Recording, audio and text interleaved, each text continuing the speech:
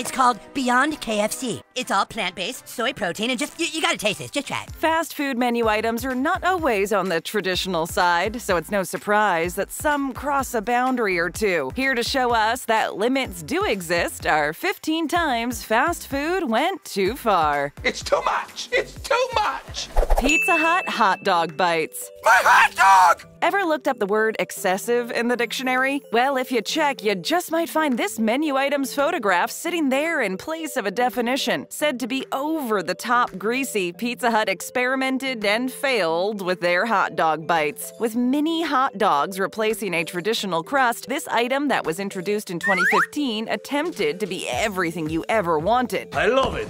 This is simply awesome. And then showed us all that too much of a good thing can leave you feeling, well, kinda sick. The grease factor in this item was so high that it eventually led to the Pizza Hut hot dog bites demise. The media had a lot to say about the major grease factor tied to this pizza, and since there wasn't exactly a demand for this product before it came to be, it eventually left, just like Sandy left Danny at the drive-in in Grease. Sonic Pickle Juice Slush. Can I eat the pickle? Well, there's a lot of salt in it, but yeah, it's fine. I mean, it is a vegetable. So, pickle juice is a thing, and since pickle juice is a thing, Sonic Drive-In actually created a pickle juice slush in 2018. Some other restaurants and food companies have created pickle-flavored products, but normally pickles are just there to add to the overall flavor, whereas in the pickle juice slush, the pickle is the main attraction. Pass. Yeah. The unique and distinct flavor of a pickle means that many people have strong reactions and opinions to pickle flavored products, and the Sonic Pickle Juice Slush is no exception. Whether it's the pickle taste that puts you off, or perhaps it's the bright green coloring of the slush that makes your head turn, whatever the case, the Sonic Pickle Juice Slush is as debatable a product as they come. So whether you're for or against is up to you, but sadly, whether this exists or not is up to Sonic. Friendly's Grilled Cheese Burger Melt. Now describe what you taste. Cheese. They say that all press is good press, but with the Friendly's grilled Cheese Burger melt, we tend to disagree. No one needs this Friendly's menu item. Literally, nobody. Trust me when I say this. A combination of something between a grilled cheese and a burger, this offering wasn't exactly popular. A lot of factors could have contributed to this heavy item's lack of popularity, but we're thinking the ridiculous caloric and sodium amounts, as well as the incredible amount of bad press coverage, have seriously got something to do with it. In fact, this item has such a bad rep that it's even been dubbed Death on a Bun. Yikes, that doesn't sound good. Popeyes 24 karat champagne chicken wings. That sounds expensive. Absurdly decadent, these luxurious chicken wings from Popeyes were created to commemorate a very special occasion. In 2018, in order to acknowledge their 3,000th store opening, Popeyes created a dish so exclusive you can only get it at four locations nationwide. So if you were lucky enough to be in New York, New Jersey, Louisiana, or sunny California, you might have been in luck when these were around. What continent is this? Manhattan. With a real legit champagne batter on the wings and then a light dusting with 24 karat gold flakes, this celebratory Popeyes menu item took chicken wing extravagance to the next level. Papa John's Frito Chili Cheese Pizza. I'm having a relationship with my pizza. We're not sure how the Teenage Mutant Ninja Turtles would react to this one. The Fritos Chili Cheese Pizza, courtesy of Papa John's, was a venture into strange pizza topping territory. While not the strangest toppings to ever grace a pizza pie, the Fritos Chili Cheese Pizza received mixed reviews. It was said that this pizza was okay after a few bites, but then, well, that was it. Oh, Apparently, the pie was pretty anticlimactic and kinda boring after the initial excitement of indulging in a pizza gone rogue. Papa John's proved to have gone a bit too far with this one, and since the pizza didn't gain a following, it ventured off into the fast food fail abyss. Now that's not amore. Red Robin Ramen Burger. This is a tasty burger. Ever heard of ramen buns? No? Well, neither had we until we came across the Red Robin Ramen Burger. The light bulb went off in someone's head over at Red Robin, and they definitely gave it the good old college try, that's for sure. Red Robin released the ramen burger with ramen noodles for buns to some pretty good reviews, but it has been said that a lot of the positivity behind those reviews can be attributed to kinda everything else on the burger. You see, the ramen buns were made of cooked noodles mixed with some egg so that it stayed together. Then the noodles were compressed into a bun shape and grilled on both sides for crunch. It had special flavorings, which were the main reason why people didn't hate this burger. Not bad. Not bad. This creatively random menu item was kinda messy because of the noodles, but it had some pretty good additions. With the taste of teriyaki and chow chow aioli, fried jalapenos, and chili infused shredded cabbage, carrot, and onions on top, it definitely had its own unique taste. McDonald's Nutella Burger.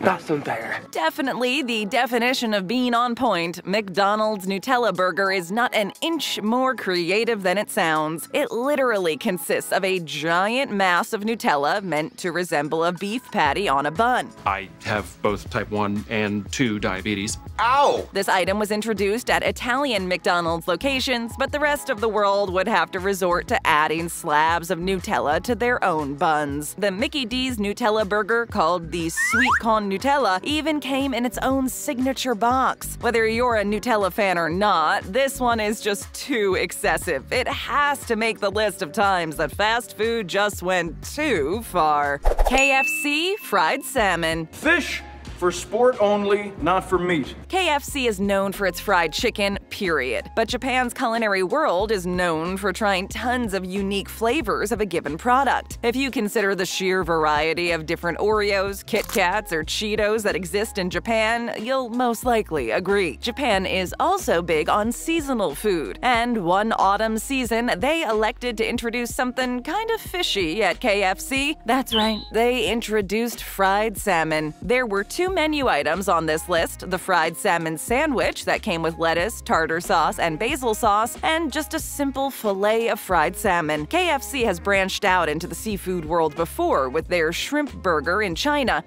You, you like seafood, do you? Come on! Ugh. Most people would rather the company stick to what they know best. KFC and chicken go hand in hand like Thelma and Louise, or ketchup and mustard. So stay in your lane, KFC. Make the Colonel proud. Burger King Bacon Sundae. What did you say? We've got to admit, this one does look like it has tantalizing attributes, but that being said, we know that this one just went too darn far. The Burger King Bacon Sundae was doused in chocolate and caramel sauce. While some reviewers were disappointed because they falsely believed that the ice cream itself would be bacon flavored, most people in general were not too taken by this BK menu addition. Some people liked it, especially for its strips of bacon found in the ice cream. Amen. But many people just found it way too excessive, and to be honest, we completely catch their drift. Overly decadent, rich, and bursting in way too many flavors, the Burger King Bacon Sundae definitely took things a little too far. Taco Bell Naked Egg Taco. It's Taco Tuesday! They say that Taco Bell thinks outside of the bun, and we're prone to agree, especially after learning about this menu item. The Taco Bell Naked Egg Taco was such a creative idea on the restaurant chain's behalf, it revolutionized the breakfast menu at the Bell. The shell of the taco was a fried egg itself. The egg taco was filled with potatoes, sausage, some cheese, and, of course, bacon. While only select restaurants participated in this promotion, when it was going on, you could even reserve a table to try one. And one of the best things about this menu item was the price. At $2 an egg taco or 4 bucks for a combo, how could anyone complain? Shut up and take my money! While impressively unique, this fast food item did go a little too far. Pizza Hut Cheeseburger Crust Pizza. Since four days ago when I saw you house a cheeseburger pizza, Okay, we've got to ask something. Why is Pizza Hut always overdoing it with the crust? With 10 mini hamburgers chilling at the edges of this pizza pie, the beef patties were essentially folded into the crust. Then, just like the pizza itself, the crust is doused in cheese, turning the beef patties into mini cheeseburgers. This pizza is rather costly, though, and will set you back a grand total of $30. So if you were planning on getting the most bang for your buck, this creation may not be the one. But if you were planning on getting a stomach ache, you just might be in luck, as the heaviness of this pizza pie is enough to make anyone's stomach gurgle. Good luck with that. If the other items on this list went too far, then this one went so far it entered into a new zip code. Carl's Jr. Double Omelette Biscuit. Just waiting for my breakfast. Lois! Sometimes we reinvent the wheel just to find out that the wheel was broken to begin with. Carl's Jr. added a previously existing menu item to their morning offerings, but with a doubled up twist. Just a little bit. I can't stress the littleness of it enough. Said to be ridiculously messy, the stack of eggs, cheese, breakfast sausage, and bacon was perhaps going a little too far, even for Carl's Jr. And with biscuits for buns, this sandwich just gets heavier and heavier, abundant in meat and requiring many napkins. If you were to order this menu item, you would have noticed cheese oozing from just about everywhere. While the reviews came out pretty much average across the board, most people had something to say about the mess. We're hoping that Carl's Jr. learned its lesson with this one. Taco Bell Volcano Crispy Chicken Chips. What?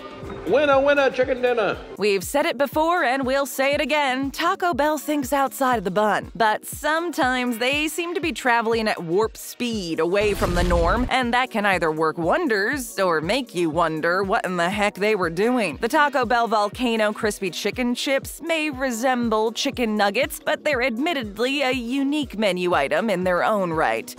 Same, same but different. Accompanied by the Bell's signature lava sauce, which has an on and off relationship with the menu, this fried chicken resembles tortilla chips, but in reality, they're not. This menu item evolved into the Volcano Chick Star, which is essentially a wrap with these inside. Taco Bell may have gone too far with this item, but some people like extremes. And hey, we guess that we can let the Bell pass off chicken as chips. Domino's Specialty Chicken. Our special today is coho salmon. Sounds disgusting. Do you have chicken fingers? Domino's is a pizza joint. We know this, but we think maybe someone should tell Domino's. Every now and then, the pizza chain likes to add something random to the menu. And when they do, that menu item doesn't exactly always do well with the patrons. Take, for example, Domino's Specialty Chicken. These chicken tenders had cheese melted on top with other various ingredients and sauce. We're still a little bit confused as to what was so special about this chicken, but we'll try and let the name slide. Fried chicken is fry fry chicky chick. It's the taste that people took issue with, and the mess was also a downside. The reviews said this menu item was okay, but in order for a dish to be a real success, it needs to be reviewed as great, fantastic, or exemplary, not just okay. Too far, Domino's, reel it back in.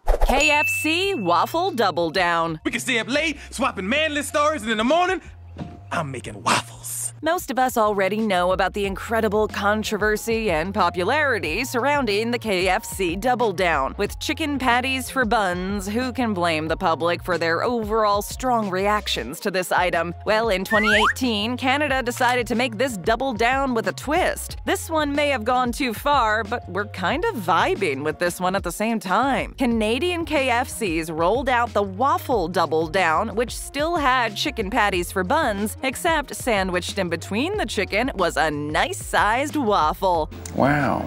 Drizzled with Canadian maple aioli sauce, this item is both stereotypically Canadian and excessive at the same time. Delicious. Double down with another great video. Just tap or click, hit that subscribe button, and ring that bell to join our notification squad. And hey, leave us a comment.